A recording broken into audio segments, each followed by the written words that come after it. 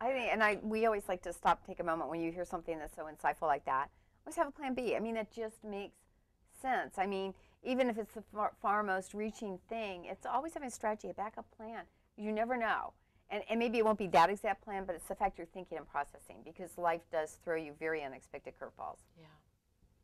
So tell us about the day he woke up and what happened. So day 35, no response. So it's looking. No response, kicking, fighting.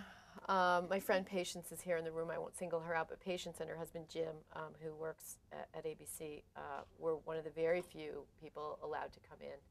Um, they had a long-standing relationship with us, and I remember, um, you know, Jim saying to me something about hope. And by day 35, it wasn't looking very hopeful. And um, the next morning, uh, I woke. I was pretty dejected. I had actually, I was a little bit. Uh, faith is another whole conversation I could have with you guys, and I don't know how you go through a journey like this without faith, and whatever your religion may be. I just feel like it's so important to have a higher power, a place where you can put your fears and your, your hope and your belief.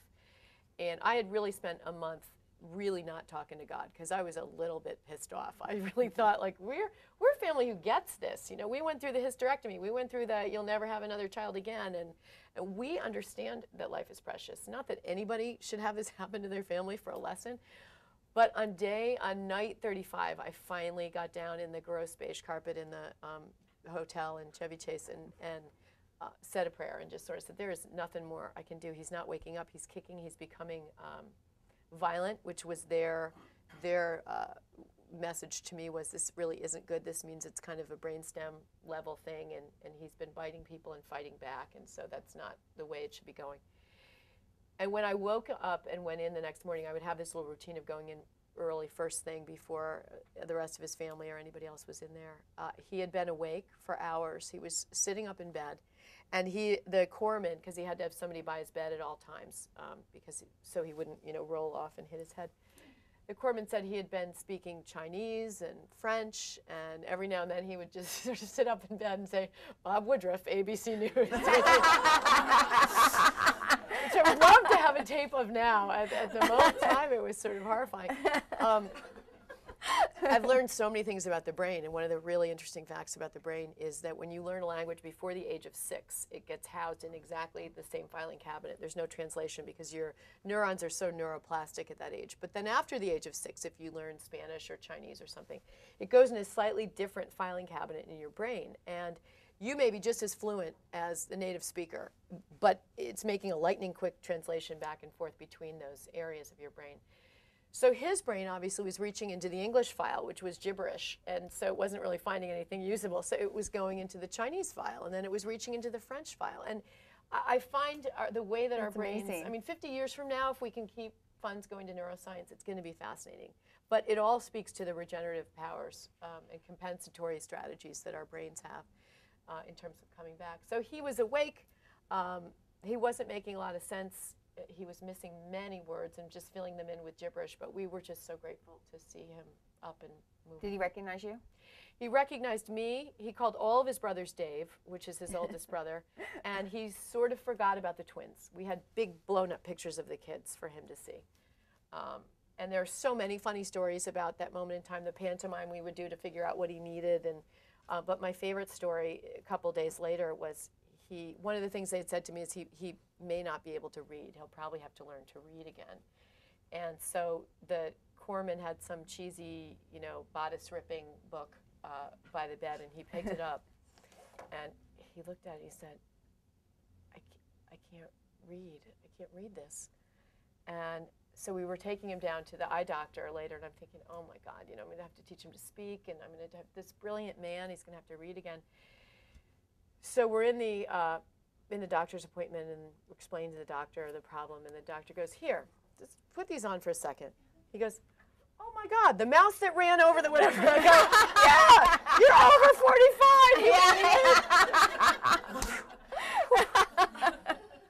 that is that is hysterical." So you look back and you think, God, you know, this could have gone either way. I mean, our conversation oh, yeah. would be entirely different one of my funniest ones, and I always think about this because it's so true even today for me. When Bob was home and recovering, and, and you're back there and you're talking, and one of the things you started talking about was rebuilding your lives, you know, financially where you are. And you look to him and go, um, I'm worried about how we're going to pay the mortgage. And he goes, What's a mortgage? And you go, I don't know. I don't know. I don't know what it is. That was always your area. yeah. Yeah. Yeah. So, how did you begin to rebuild that and kind of figure out to, to get, I mean, because this is months. I mean, this isn't like, okay, you're awake, now let's go back to work. Yeah. You know, uh, what the minute, I mean, I literally stepped out of my life. It would be like someone tapping you on the shoulder right now, and you really don't get to pack, you don't get to prepare. And I had a sister um, and a f- two other friends who really stepped into my life in my house because I was physically not even in my town. I was down here. And fig- pieced it together, figured it out. You know, the mail coming in, looking through my files, which were in okay shape, not great, calling the banker, just kind of figuring it out. And so for the longest time, they carried us through that part of it. And and Bob's um, financial brain and that whole side of everything is completely intact. Um, Excellent. that began to, you know, whatever he was saying, what's a mortgage? He actually, I think he did understand it, whether he heard me or not. That's another issue. Now I have to say things two or three times, which I always did, but now he gets to blame it on the brain injury. So um, I think that gently we sort of took back control, but that was a, a whole other freaky thing to have people stepping into your lives and know absolutely everything about you, the insurance policies you have, how much you make, how much you've saved. I hated that. But you know, but God loved those people willing to do it because you can't really get through it. I mean, I, I, I really saw that in my life. I mean, just the people kind of take you by the hand and say, here's where you need to be and here's what you need to do. Um, because you just do kind of shut down for a little bit. But, but, but that's a gift. I mean, because you have to be numb. Otherwise, you, if you feel all that raw emotion, it's just too much. You're overwhelmed.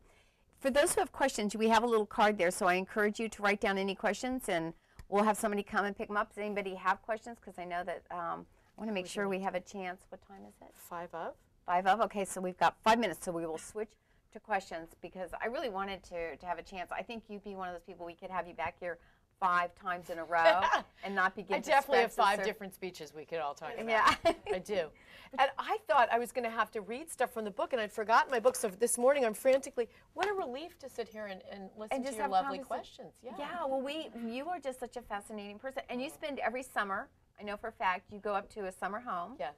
um, the and you- Adirondacks, In yeah. the Adirondacks, which you take a month, Um, six weeks. six weeks. Because again, I have a portable business, so Bob goes back and forth, and it's where I grew up as a kid. It's a little YMCA camp. It's just if anyone saw the movie Dirty Dancing, it's kind of like that, Oh, that's awesome. complete with square dancing. Yeah, but I think it's really good you take that break. I mean, for the kids, for you. So what's Bob doing today? And what, do you, what are you doing today? So how, how do your lives kind of intersect right now? Yeah, I'm sure he's going into the office today. I think he's doing Good Morning America this week, stepping in for George, maybe Thursday or something.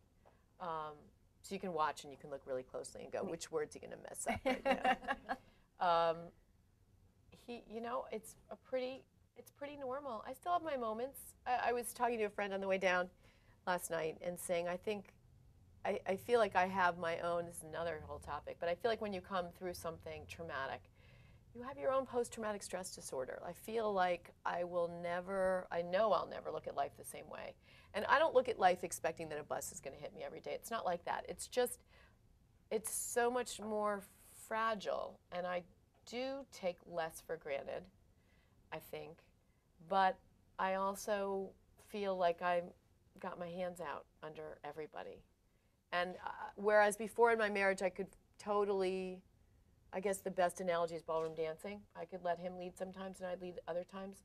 I'm more fearful to let him lead, even though he's fine, but it's my own trauma in my head. It's seeing someone, I think, so incapacitated and, and having everyone tell you it's not going to break your way. And even though you see the miracle, I don't know if you ever 100% quite believe it. I can still hear all those pronouncements in my head. He's not going to do this. He's not going to be able to do that. You know, you always think that that can, can happen to me, and then it mm-hmm. happens, and you can't believe it. I mean, it's because we always like read life's book as it's somebody else's experience, Right. and then there's that, that moment of and gratitude, Yeah. and then stuff does happen to you, Yeah. and um, but you do get through it. And how is he resisting your, you know, always trying to be yeah, capturing you? Yeah, and, and maybe I don't show it to him all the way. Yeah. It's more an internal dialogue, Yeah, I think. yeah, Yeah. yeah.